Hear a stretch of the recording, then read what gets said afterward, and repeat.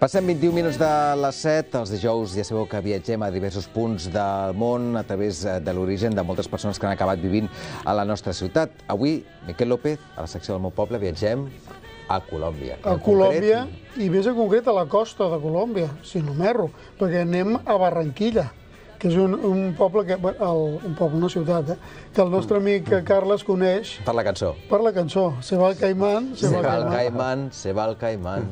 Se va para Barranquilla. Se va para Barranquilla. T'haig de dir una cosa, el nostre convidat, eh, Mauricio Zapateiro, què tal? Bona tarda. Buenas tardes. Clar, el Maurici ens deia, aquesta cançó... Et digo, aquesta cançó molt antiga, No m'ho no- pregunteu, que no la conec, que és molt antiga. Sí, ya esa que conocí el estribillo, pero no me preguntes más de ahí porque no me acuerdo. Mira, l'estem escoltant. No Es que él es mayor, digamos, y yo soy Y él joven. tiene la mentalidad Exacto. mayor. Entonces, Però bueno, tu ens Bueno, dones... de- no, de- iba a decir que de hecho cuando hablo de Barranquilla, ah, lo primero que mucha gente me dice es Shakira. sí, que és l'altra cançó que conec, aquí ja no la coneixes tu. No, sí, és, perquè Una és de canta- allí, és que Shakira és de Barranquilla. Sí, pero aparte hay una canción de La Tortura, de Alejandro Sanz, que Ah. dice algo de, la Barra- de Barranquilla también. Mira él cómo sabe. Yo sé todo. La tortura diría que no. Sí, buscádmelo. La que Hips Don't Lie. Ah, puede ser. En Barranquilla se baila así. En Barranquilla se así. ¿ves? Què sabràs tu? Què sabré él que no sepa Que no ell. Ten raó, hips don't lie. Mauricio, Ten raó. no, no ens facis cas. Anem a parlar amb tu. Vinga. Ens Sí. dones permís per anar cap a Barranquilla? Anem cap a Por Barranquilla. supuesto. Anem cap a Barranquilla.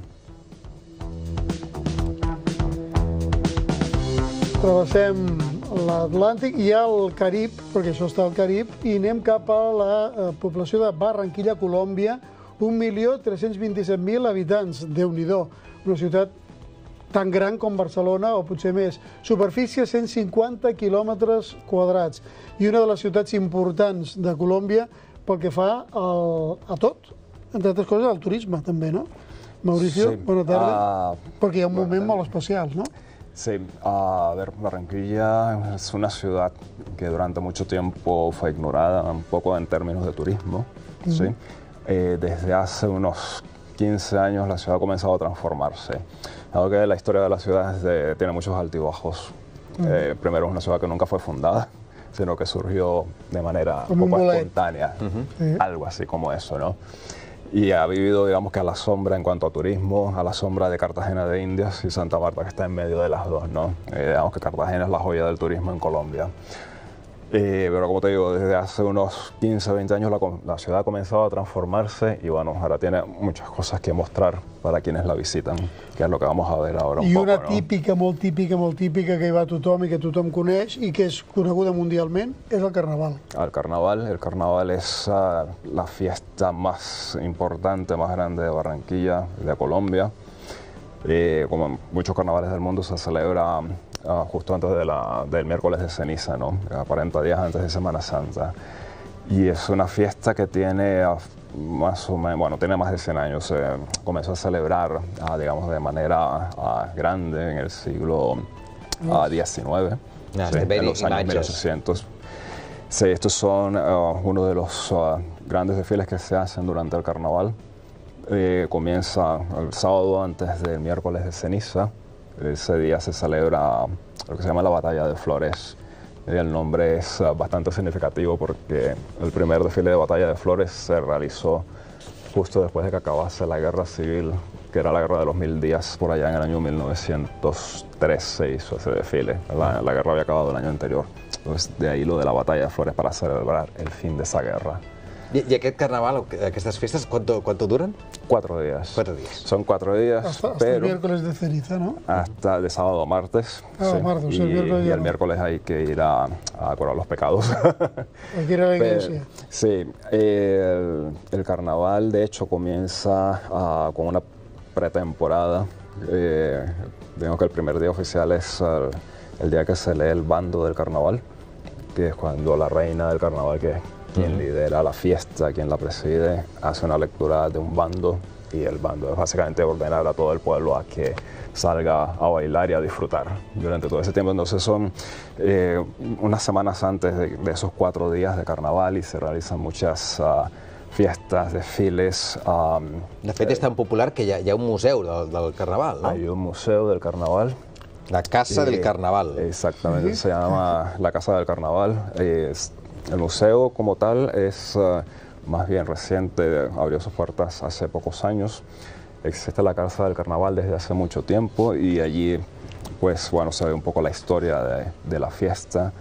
Eh, se conservan muchos de los disfraces uh, que usaban las reinas del carnaval. Eh, se puede ver un poco el, mercado de los bailes y de, bueno, y de todos los disfraces que Ah, se usan en fiestas. per molt. Escolta, què és Sí. la, la ventana al mundo? Esto No. Perquè jo m'he pensat, dic, què és això? Esto es nuevo, no? Fa molt poc que està... Eso también es un monumento que se mm, construyó hace pocos años. Es un- aquest que estem veient, eh? ese mismo, Muy exactamente. colorido. Muy colorido, sí. Esto es, ah, es un monumento ah, que sí es reciente. Eh, básicamente es un símbolo a la apertura de la ciudad. Antes había dicho que la historia de Barranquilla es un poco de altibajo, ¿no? Eh, una ciudad que surgió así un poco espontáneamente, tuvo una época dorada, eh, por allá a finales del siglo XIX, principios del siglo XX, donde recibió mucha inmigración, eh, sobre todo después de la Primera Guerra Mundial. Y vino mucha gente, sobre todo cuando se acabó el Imperio Otomano, llegaron muchas personas de, de Siria, del Líbano, de Jordania, a los que allá popularmente se les conoce como los turcos, porque llegaban con pasaporte turco, aunque no eran de Turquía, sino que eran del Imperio Otomano, ¿no? pero bueno. Y eso era una de las tantas ah, ah, personas de afuera que llegaron a Barranquilla durante aquella época, que trajeron, ah, bueno, sus culturas, sus costumbres, gastronomía, también europeos que llegaron allá y todo esto es un poco ah, eh, un símbolo para recordar toda esa parte de la historia de Barranquilla, ¿no? I és per això que teniu un parc cultural del Carib, per aquesta riquesa cultural que teniu? Ese Perquè allà en es aquest un- parc es fan activitats també, no? Sí, ese es un ah, complejo cultural que aún está en construcción. Y el primer ah, edificio que se abrió es el Museo del Caribe. El Museo del Caribe, bueno, está temporalmente cerrado, ¿no? Esperamos que reabra pronto. Pero es un museo que tiene algo muy interesante. Cuenta la historia de todo el Caribe colombiano, pero también eh, muestra cómo es su geografía, la fauna, la flora. Porque a veces cuando hablamos del Caribe, muchas veces imaginamos que es solo playas, más playas, pero el Caribe colombiano también tiene una región montañosa. De hecho, las montañas más altas de Colombia están en el Caribe, en la Sierra Nevada de Santa Marta, que está ah, muy cerca de Barranquilla. que són, són espectaculars, eh? són unes muntanyes que te piensa que Suïssa aquello, eh? Sí, sí, sí, es, ah, son montañas que están nevadas, eh, son nieves permanentes, ah, bueno, teóricamente vienen de la última glaciación de hace 10.000 años o algo así, si mal no recuerdo, y son bastante altas, son unas montañas que tienen alrededor de 5.500 metros de altura. O sea, eh, Mira, ara estem veient, eh, Mauricio, el Ecoparque Mallorquín, se llama? ese es el ecoparque de la Ciénaga de Mallorquín. Sí. Este parque es nuevo, abrió sus puertas hace unos, no sé, dos, tres semanas aproximadamente. Y esto es una de las cosas que quería mostrar. Ah, antes había comentado que Barranquilla es una ciudad que está en transformación ah, desde hace unos ah, 15 años aproximadamente. Y esto que estamos viendo aquí es Ay, la apertura de un espacio que estuvo cerrado a toda la ciudad durante muchísimo tiempo. De hecho, yo todavía no lo conozco. Eh, lo que es bonito de, la- de esta transformación es que últimamente ha habido cierta conciencia por recuperar el medio ambiente, recuperar los cuerpos de agua, porque Barranquilla está, se- está al lado de esta ciénaga, que es uh, un lago, está junto al río Magdalena, que es uh, un río grandísimo, el, río- el río más grande y largo de Colombia, y está muy cerca del Mar Caribe. Això és Entonces, aigua dolça. Esto es agua dulce, Clar, exactamente. també, però mira si és gran, Sí. això, eh? Entonces ahí estamos viendo la, la ciénaga, que es eh, agua dulce, y justo del otro lado está el mar. Y por el otro costado está el río Magdalena. I que tu que eres expert en, en art religiós, Anem a una església, Sant una Nicolàs, església. San el Nicolás. patrón, no? San Nicolás es el Sí, patrono de Barranquilla. El Sí. patró Sant home, és una de senyora iglesia, eh? Sí, es la iglesia más antigua de la ciudad. De hecho, ah, Barranquilla, y esto es un dato curioso, el, Barranquilla se conocía inicialmente como San Nicolás de la Barranquilla. O la Barranquilla de San Nicolás o Barrancas de San Nicolás. Básicamente San Nicolás era el patrono del dueño de una hacienda que había en esa zona ah, hace, no sé, dos, tres siglos más o menos, y de ahí surgió el nombre. Y Té lo- aquesta església, però també hi ha una catedral, Sí. la catedral La metropolitana. metropolitana, señores. Esa- Espectacular. La catedral, como veremos Dedicada a la Virgen, además, ¿no? a la Virgen a María Reina, María se Reina. llama. María Reina y Auxiliadora. Esta catedral es muy moderna. De hecho, ah, sus diseños eh, comenzaron a ser en los años 50. De ahí que estamos viendo un edificio que no tiene nada que ver con las catedrales que vemos en No, Europa. clar, això és molt més modern, es clar. muy moderna. De hecho, el diseño original ah, planteaba algo más, ah, ah, más tradicional, digamos, pero en algún momento se cambió y se dijo, hay que hacer una cosa más moderna. Y este es el resultado. Es una catedral que tiene poco más de 40 años de haber finalizado su construcción. Oye, podria ser guia turístico, eh? La, ciudad espectacular, estoy veient, ¿no? Eso Pero es sí, que a mí eso sabe todo memoria, el Mauricio. O, o has estudiado mucho para venir aquí o lo tienes ya como muy, muy que integrado, va. ¿no? Esto lo conozco de, de haber vivido allí muchos años. De Això, per cert, és la plaça de la Paz?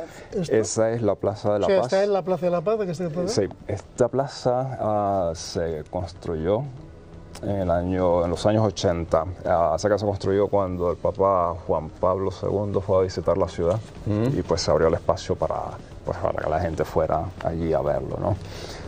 Y ha ido extendiéndose desde entonces. Ahora no es solo lo que estamos viendo allí, sino que se extiende mucho más. ah.